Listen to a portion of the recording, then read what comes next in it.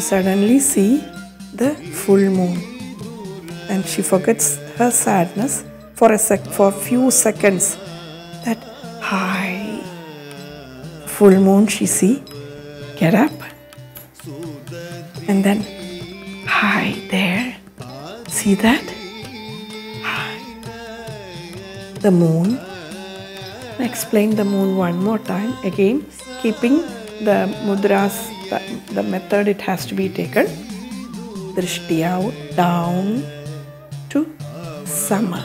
Yes it is the moon the full moon and it's so beautiful. Wow. See that? Immediately suddenly she sees some resemblance with krishna's face and instead of instead of you know making that face she see this oh no. I can see krishna in there in that full moon. That fear you know has to come first in the beginning. And then she say no. Mm. hi. Oh no. Okay look at me.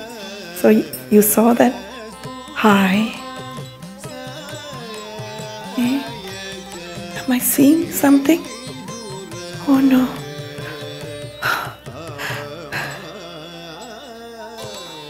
And then say, Krishna, his face, same. And then she's afraid to look at the moon, but give one more glance.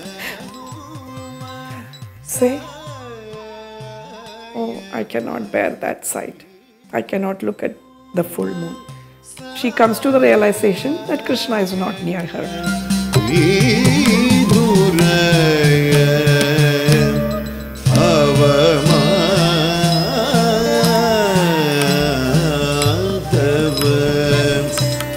Sudati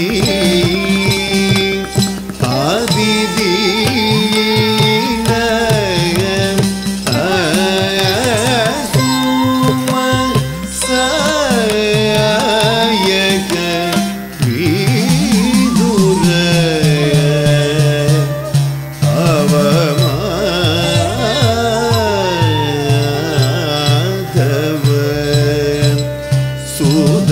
see